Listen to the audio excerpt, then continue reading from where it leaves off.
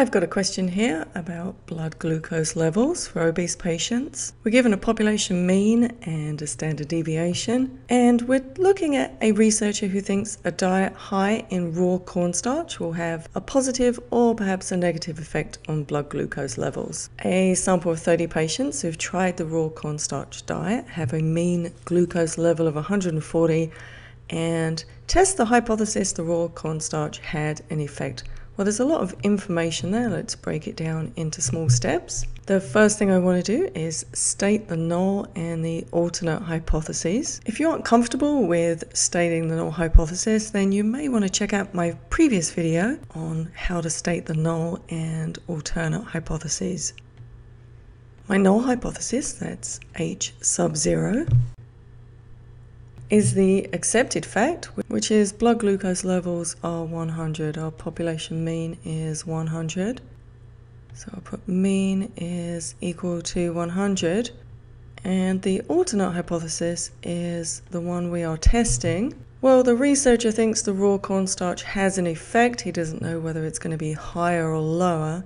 So basically, our alternate hypothesis is going to be that the mean, mu, is not equal to 100. So it could be greater, it could be smaller, we don't know. All we're interested in finding out is was there a difference? The next step is we want to state the alpha level. If the alpha level is not mentioned in the question, then just use the standard 0.05, which is 5%. And what that means is if you take a normal distribution curve, our alpha level is the area in one tail, but we have a two-tailed test because the mean is not equal to 100.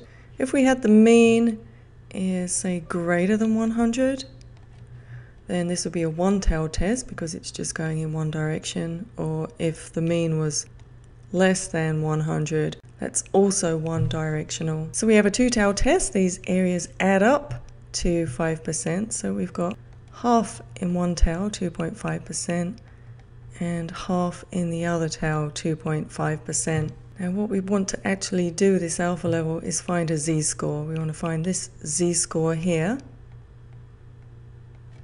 Because this is our rejection region, and I will cover the rejection region in just a moment. For right now, I want to find this z-score. I'm going to use a right-hand z-table. The right-hand z-table tells us the area from the mean to any z-score. Uh, one half of a bell curve is 50%. This little area is 2.5%, which means this area between the mean and this z-score must be 47.5%. I'm going to look this up in the z-table. I'll actually be looking up the decimal 0.475. So here's my z-table. I want to find 0.475 in the center of the table.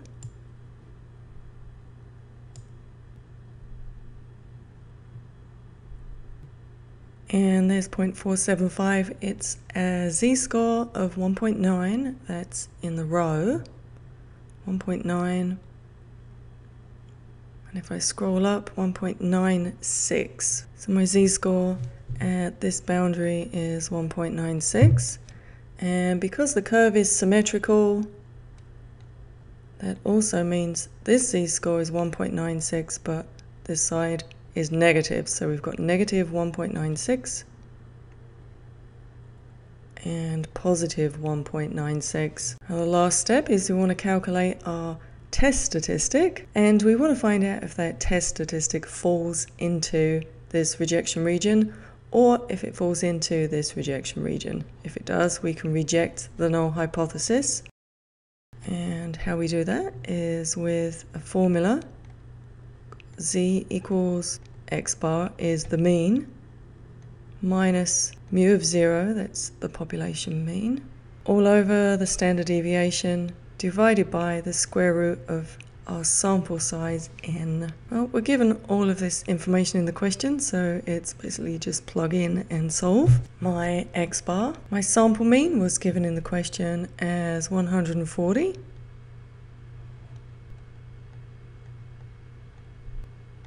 Minus my population mean.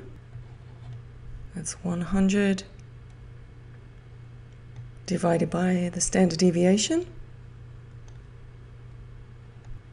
15 divided by the square root of the sample size, which was given as 30. And if I figure this out on a calculator, I get 14.6. One final step, there's one small thing left to do, and that is we're going to take this value and we're going to see if it falls into one of our rejection regions. Well, 14.6 is much larger than 1.96. This is a z-score, and if it was going to go on a normal distribution curve, it would go way over to the right here, which is in this rejection region. It's larger than the z-score. So we can reject the null hypothesis,